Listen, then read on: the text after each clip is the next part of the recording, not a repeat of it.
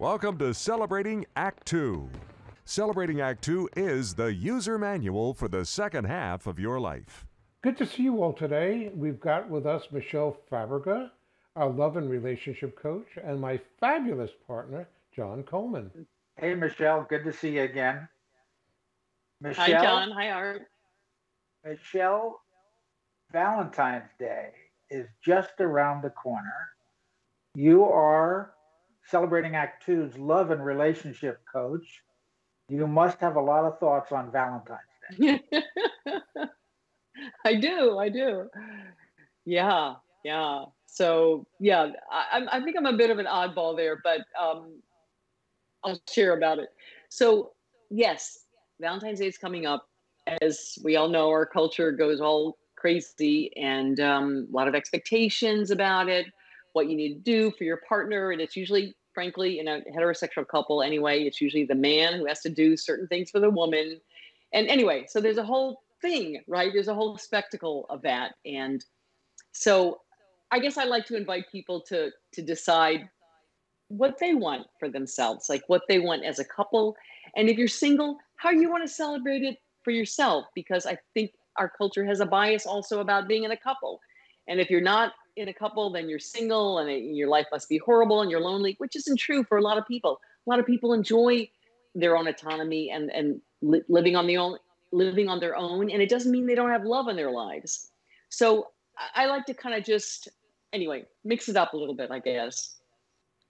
You know, this is sounding a little bit like uh, your um, version of Bah Humbug. I'm gonna I'm gonna name this episode "Stupid Cupid."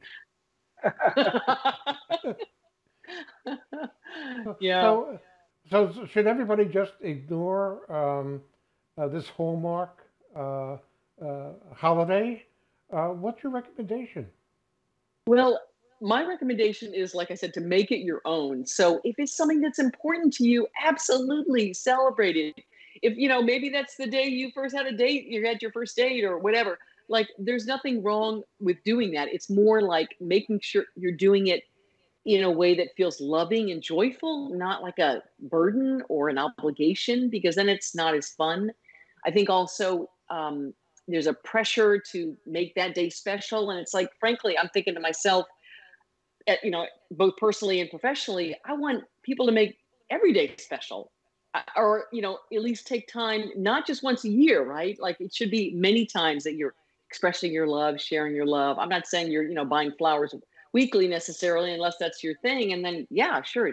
Why not every week, right? So, what can you, like, you know, certainly celebrate Valentine's Day in whatever form that makes sense for you but do it in a way that you feel good about and um, maybe even talk about it in advance so you don't you know you don't have expectations that you know one partner has and the other partner can't quite meet that's what i want to say about it but yeah I, have had my moments when i back in my earlier years when i was single a lot which felt like i was single a lot and unhappily single i'll say uh, that day was a bummer it was a real bummer for me so yeah. um, maybe i'm carrying a grudge about it who knows well Michele, I've got a completely different perspective for you, which which may help all those single people out there of whatever age. Um, and I, I, think single people in their 50s, 60s, and 70s also find it a bummer, or more often find it a bummer. So here's my perspective it is the historical. So, not to get religious, but the original, the origin of Valentine's Day is based on the story of Saint Valentine. Saint Valentine was a, I think, a priest, but I don't know. He was imprisoned for his faith in who knows what year. And he had been teaching the daughter, if I get this right, the daughter of the king that imprisoned him, and uh, teaching her uh, Christianity. And so while he was in prison, he would write to her and tell her that uh, you know don't worry about me and, and, and worry about your faith and uh, become a good person and all of all those nice Christian principles, which he was teaching her, and he would sign it, "Your Valentine." And the concept is the original concept of Valentine's Day is that it was love.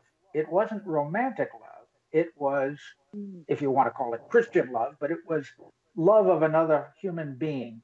It was despite the fact that he was being imprisoned, he was giving love rather than uh, feeling resentment and hate. And so the, the original idea of Valentine's Day, St. Valentine's Day for Christians, was love, not romantic love, but love of humanity. And so for for those people that are feeling bummed out about Valentine's Day, they don't have a relationship, they don't have flowers, they should give cards, Valentine's Day cards, to their friends, their parents. Now, I don't know about you, but I remember in grammar school, Valentine's Day would come up and we would give Valentine's cards to everybody in the class boys yes. and girls, friends. It wasn't about romantic love, although right. you know, there might have been one cute girl with pigtails that I had a crush on, and her card might have been special. But we would give Valentine's Day to our friends, and why not to your neighbors? Happy Valentine's Day. You know, here's a here's a nice little favor, kind of like the Boy Scouts helping the old lady across the street. Here's a little here's a little favor. For art, it's a mitzvah. Here's a little something for Valentine's Day. And it's mm-hmm. about love. It's not about romance. So I yeah. think for those people that are feeling bummed out, take that other point of view. Well, John, John, I, I, and God bless all, you, Art. Thank you. Um, first of all, first of all, you've built an expectation, and I'll be looking in my mailbox uh, for my Saint Mitzvah card. That's the first thing. Saint okay. Mitzvah, I love. The, the second thing is, Michele, I promise you, I'm going to use all the uh, power that I have within my my every fiber of my body to make sure that Dr. John Valentine doesn't bill you for this Valentine therapy session. so so do you feel better? So so Michele, do you feel better now? Do you think you can now address the world a little bit better now that Dr. Valentine has spoken? The the romantic pressure is off. Yeah, well, actually, I love the perspective, and frankly, I feel a little ignorant here, but I didn't know that. So I didn't know that it originated as just a, a love towards another person and not with the romantic component. So I'm all for that. I mean, I think that's beautiful, and I think the more we express that kind of care and love, whatever form that is, right? If it's gifts, if it's cards, you know, verbal, uh, the five love languages, you know, whatever. But I think that's beautiful, and I, I, I like that, and I wish I had had that awareness for myself when I was uh, lonely and single and unhappy. So, uh, yeah, so it's it's great, and um, I'm going to take that under advisement. Well, Michele, I think we should end this by saying Happy Valentine's Day. Happy Valentine's Day.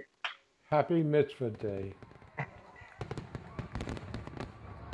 For more on Celebrating Act Two, visit our webpage, follow us on Facebook, subscribe to us on YouTube, and tell your friends. Celebrating Act Two is the user manual for the second half of your life.